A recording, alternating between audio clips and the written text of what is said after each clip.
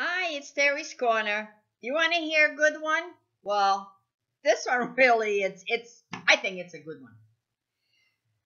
My daughter comes home with two bathing suits. She purchased them in Macy's. Really nice. One is like a gold. The other one is like uh, white flowers on a, on a black background. Pretty nice. So I've been bragging that I lost some weight. So my husband, so she says, try it on. So I tried it on. It looked pretty good. As a matter of fact, it maybe it was a little bit too big, but it, it looked pretty good. My husband sitting in a chair looks at me. He says, that's a shoe-in. What the hell does that mean, shoe-in? What does it mean, shoe-in? Is that a compliment? Is that a dig? I don't know what shoe. I guess I should have asked him.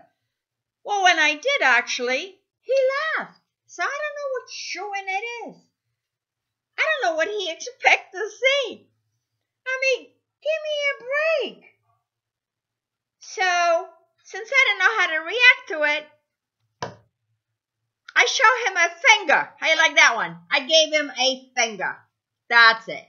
40 some years together, I gave him a finger. Second time in my life, but I did. Have a nice day, Terri's Corner.